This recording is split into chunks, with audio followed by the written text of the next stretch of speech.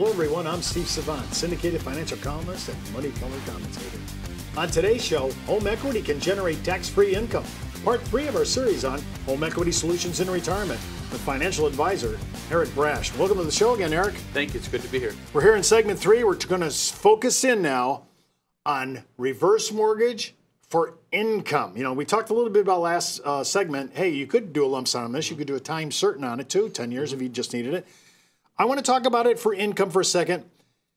An equity loan is not characterized by the IRS as income. Therefore, it doesn't show up on your 1040. That's correct. Therefore, it's not includable in Social Security's provisional income test to find out if your Social Security benefits get taxed. That's exactly right. Now, there's this is this is good because a lot of people don't realize this. Listen, if you're middle American, your Social Security is all you have. Mm-hmm. Your equity position is all you have. You could maybe, maybe cobble together with your deductions and your exemptions to offset your Social Security income, no tax there, and you'd have no tax with a home equity conversion mortgage, reverse mortgage income. I mean, you'd have Correct. no tax. Yes, that's exactly right. So for people that are middle class or a little below that are skating the issue, this could be huge for them. this could be a this could be a, a, a make or break in a lot of cases for people. Okay, now of course I'm all for you know waiting till age 70 to pull this off. And one of our first things I want to talk to you about this lifetime income. So they're going to calculate the home. Let's say it's uh you know let's say we go to the HECM limits right now, 636,150. Correct. So let's say you're just 62 and you're going to pay somewhere around I don't know 315 to 318,000, but you're done then. Correct. You're, All right. Yes, exactly. I'm all right. I, I'm sorry. I'm buying a home here. Uh, but but yes, you're, you're going they're going to take that number and they're going to amortize it over the, your life expectancy. Now, when they do that, uh, sometimes I sit there and I go, if I have a really long life expectancy, it seems like the HECM life expectancy calculators are a little bit behind the curve here compared to what we use in annuities or financial planning. Have you found that to be true? The- In in certain circumstances, yes, that's the case. They will go out to 100 is where they're typically when you do the 10 year program. 10 year meaning you're not a 10 years, but 10 year meaning monthly income for life. Um, they'll go to age 100. And and does that mean there's no payment after 100 then? That's typically the case. They they'll you actually have you have until age 100 and believe it's 150 odd depending on what what your number is to to not have to make a payment. So, All right, so oh yeah, well that's a future future. In fact, actually, uh, and we'll get into this in the next segment. Uh, what I did to give a little gravitas to this whole scene.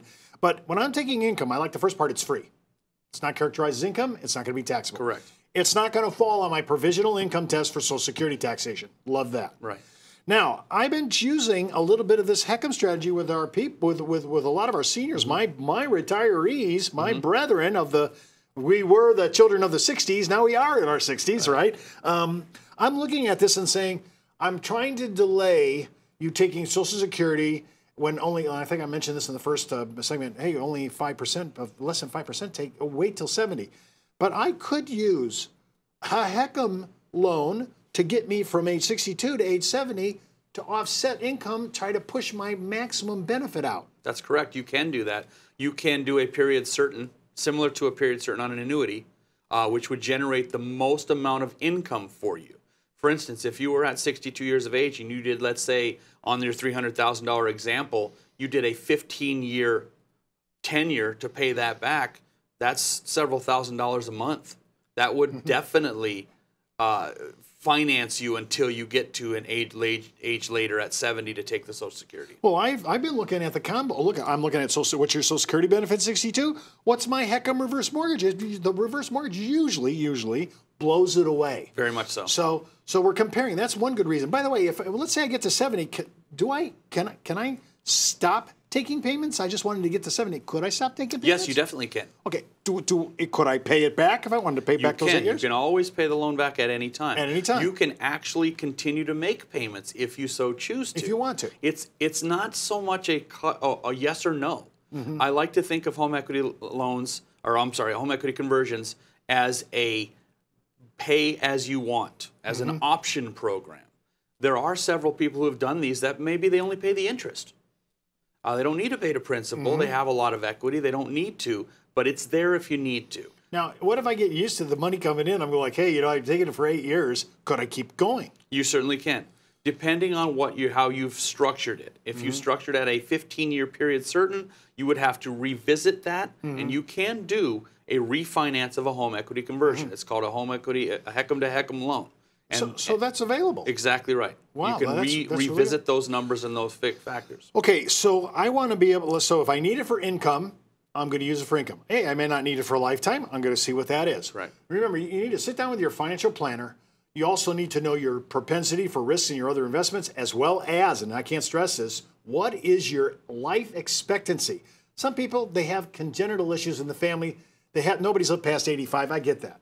But this new wave of revolutionary longevity, you know, I think my, my wife will probably easily crease age 95. No problem. So, uh, you know, the, the boomers are the first generation. We're, we weren't thoroughly into exercise. We weren't thoroughly into um, eating right and so forth. But but I think our gals were. So I think I, so you're going to see some, some new longevity uh, numbers for female boomers. But I think the people behind us, you know, X, Gen X, and Y, and millennials, I think all these people are hip to this. And I see them living well into their 90s and 100s as a regular issue. Correct. And I think what you're also seeing from the from the generations behind the baby boomers, like my generation, is the fact that they are concerned about where Social Security is going to be. Mm-hmm. Um, right now, we're at uh, two to one. There's two people for every one mm-hmm. person on Social Security, where it used to be seven to, or eight to one. Mm-hmm. So that's a concern that, that my generation has going forward. Will there be something there for us? How how will that work for us?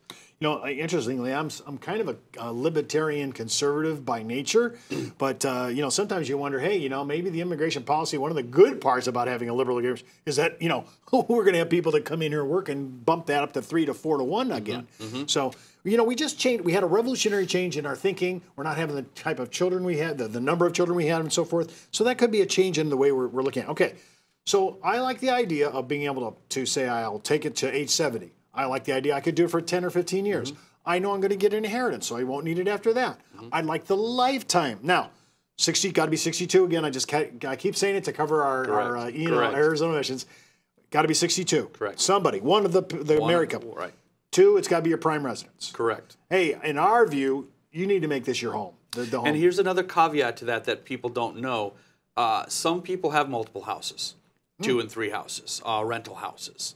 Um, if it's because it's an FHA loan, the other house that you own has to the house that you're doing this on has to not only be your owner occupied, but has to be at least 100 miles away from your other home.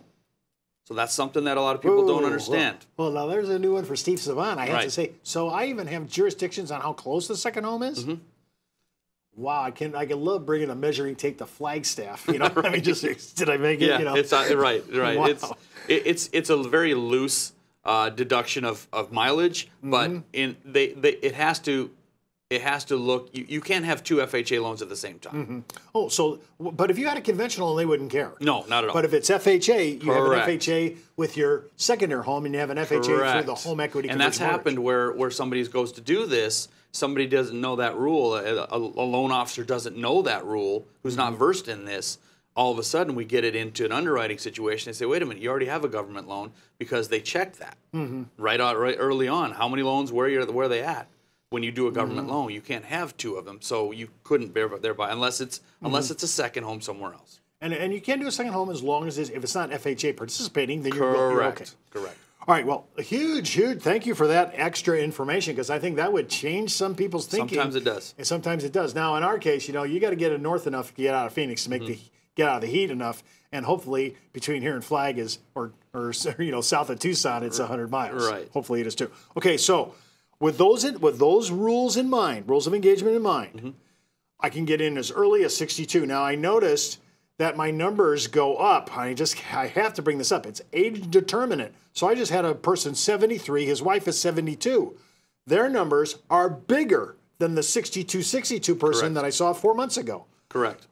Shorter It- it's- timeline? it's- What's it's going on? Every, it, it's similar to a Social Security. The longer you wait, the more it's worth because the less time you're going to have to draw on it. Or an annuity, the longer you wait, Mm-hmm. the more it's going to be worth because you have less time to draw on it. It's the same thing. Mm-hmm. The longer you wait for a HECM loan, for a home equity conversion mortgage, the more it'll be worth because the less time you'll have to, to the less payments you'll have added to the Mm-hmm. back end of the loan where you where the equity deteriorates. So this could be something if you said, "Hey, I thought I missed the boat on this. I thought you had to be 62." No, you could be dropping in at 70, 80, whatever. Correct. And your premium or your income on the reverse mortgage, it just gets higher as you get. I don't think I can get an IRR like that anywhere. No. Especially tax free. Exactly. Well, don't forget to watch our next segment on buying a retirement home for half the market value. Part four of our series on home equity solutions in retirement. And keep in mind, before moving forward with any of the ideas on our show, always check with your tax consultant, legal counsel, or financial advisor. You've been watching Steve Savant's Money, the name of the game.